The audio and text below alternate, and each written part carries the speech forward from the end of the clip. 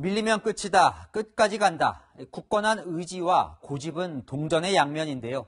서민들의 집값 걱정에도 부동산 정책이 옳다고 고집 부렸던 이 김현미 국토부 장관이 결국 교체됐습니다. 이 한편에선 이번 개각의 칼날이 무졌다는 평가도 있지만 이 변화의 시작이 될 수도 있지 않을까요? 오늘 클로징은 이 밀리면 끝이 아니라 변해야 산다로 하겠습니다.